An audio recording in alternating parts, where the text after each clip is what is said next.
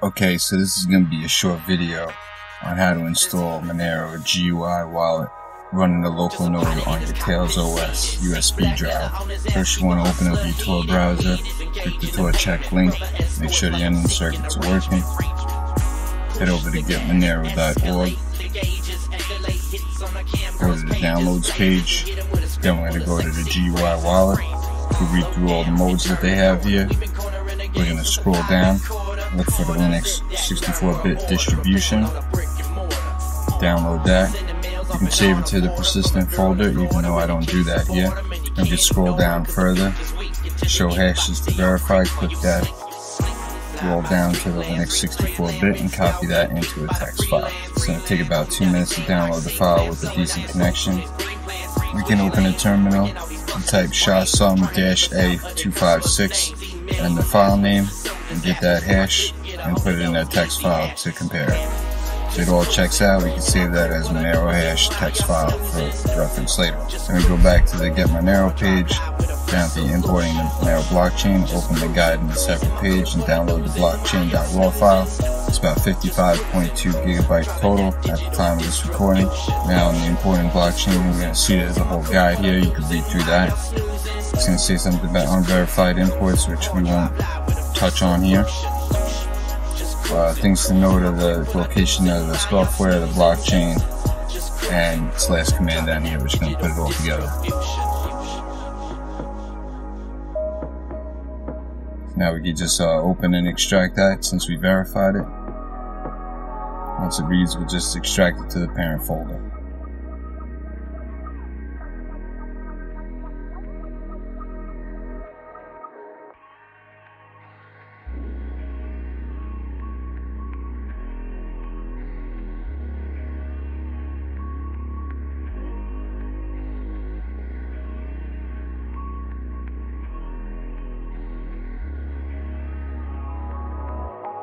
Once that's done, we're going to go back into the extras folder. And we need the Monero dash blockchain dash import option. So I'm going to show you a template. You can look down below in the description of this file.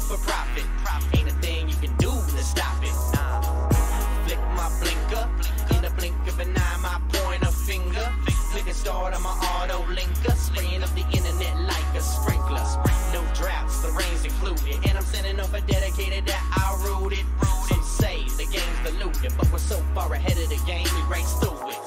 Enable the rights, yeah, the future ahead look mighty nice. No obstacles, no red lights, in reverse on the apps on my device. I get reavers from my chat frog. Yeah, that's how we do it. I can show you a chat log. Here is a still shot of what it looked like after the import's completed. It could possibly take uh, somewhere between two and six days, from my experience. So after restarting your machine, you can go back into the Monero software folder, open up a terminal there, and what we're going to do is create a file so that we could start the Monero daemon. Just going to change the preferences here to make it a little easier to see. We're just going to create a simple script and call it start Monero D.sh.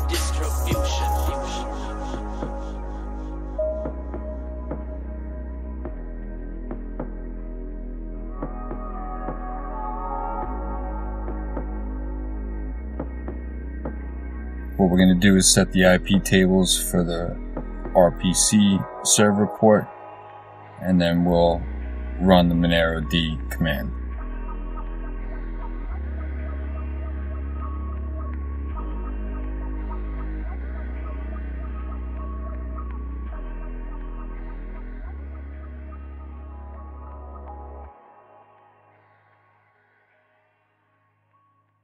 And then we'll just go ahead here and run the command.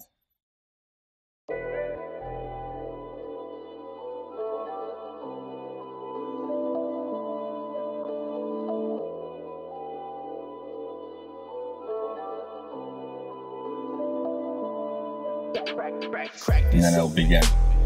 You can see the error warning for the rotating drive. That'll be very slow, which it is. Now the daemon will start synchronizing with the network. Here I'm going to speed it up just to show you that it did take a little while. Again, you'll get random errors. I think most of this stuff can be safely ignored.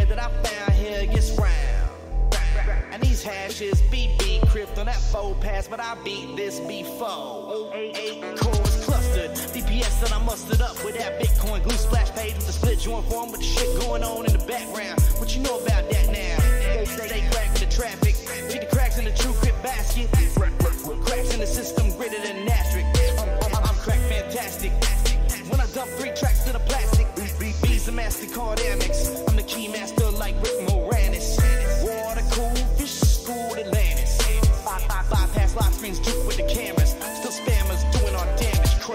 Crap coke.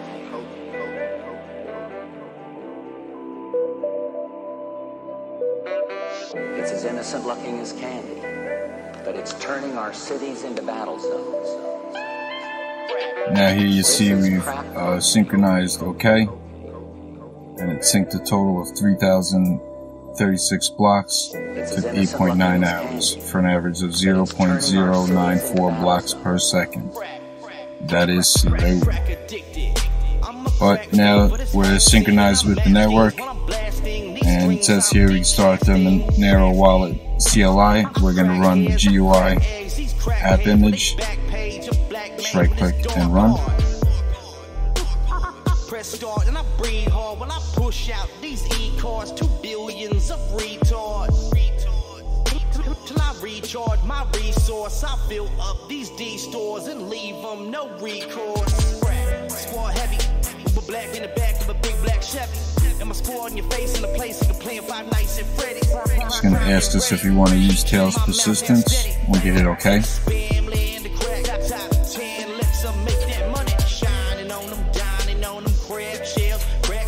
left this real time to show you how long it took for this wallet to open.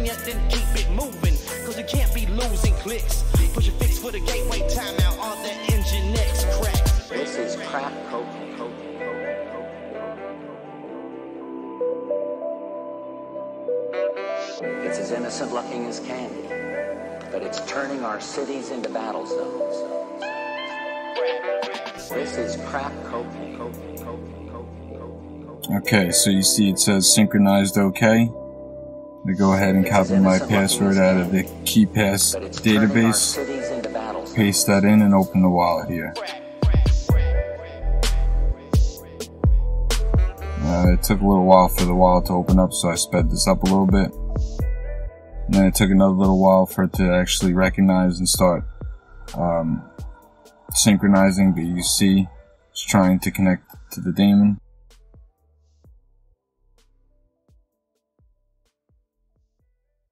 Again, I get there waiting for a daemon to start.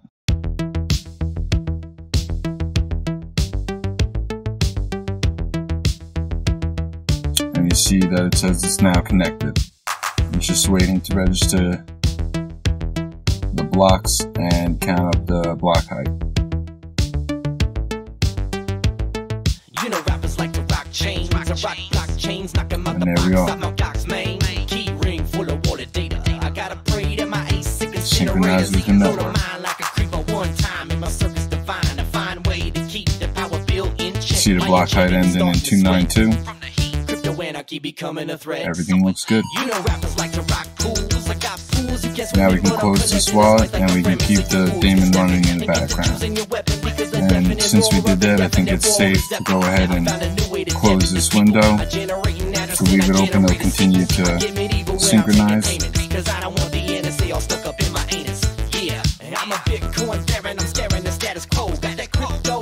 But we can go ahead and close that window. And we can reopen the going to ask us about Tails persistence again. We can just hit OK. Yes.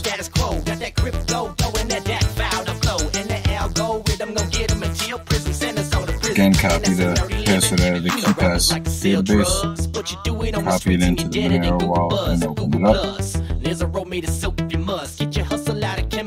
And you might get a here saying use custom settings. You just ignore that and wait for the daemon to start. And once it starts, everything will load up, which is relatively quick. Again, everything's running in the background. And you can see we got a new block height here. That's basically it. With the network. Ready to send and receive. Now you can see here I'm this gonna rescan my balance and I do have a test transaction that I sent. I'll just show you here it's a very small amount of Monero that I'm holding in this wallet. Now we can uh, force stop the daemon, close it out, and just go over to system monitor and check and see that the Monero daemon has stopped. We uh, don't have to worry about the database being corrupt and losing that or any issues. So, thanks for watching.